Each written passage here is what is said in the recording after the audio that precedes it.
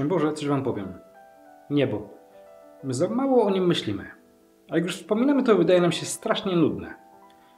Na ziemi ciągle coś się dzieje. Są problemy, to trzeba je rozwiązywać. Są radości, to trzeba świętować. A tam ciągle hosanna, wszyscy uśmiechnięci i życzliwi. Zapowiada się monotonnie. Nie jesteśmy do tego przygotowani, bo tu ciągle człowiek na człowieka patrzy wilkiem. Wydaje mi się, że niebo nie, nie przemówi też y, do młodych, którzy muszą mieć ciągle jakieś akcje, coś robić, bo, bo nie potrafią się skupić czy pomilczeć. Być może nasz świat dorosłych jest tak skostniały, że nie potrafimy dostrzec korzyści z nieba. I ta nuda, o której myślimy, to tylko działanie złego, który spadł z nieba jak błyskawica i krąży jak lew ryczący, szukając kogo pożreć. Mamy pragnienie bycia wielkimi i mądrymi. To szlachetne. Ale jak słyszymy, przed mądrymi te wielkie tajemnice są zakryte. Wielcy ludzie lubią przemawiać, debatować, snuć plany i różne teorie.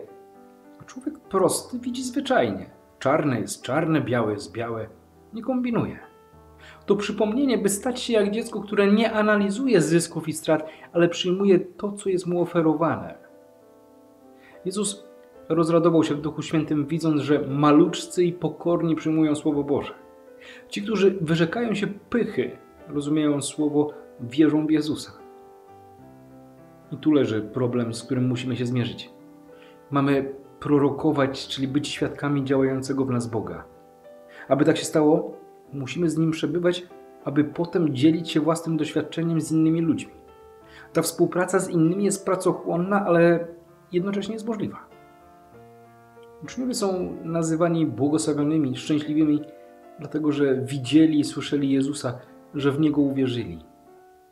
Wiara jest darem od Boga, największym darem, ponieważ bez wiary nie ma zbawienia.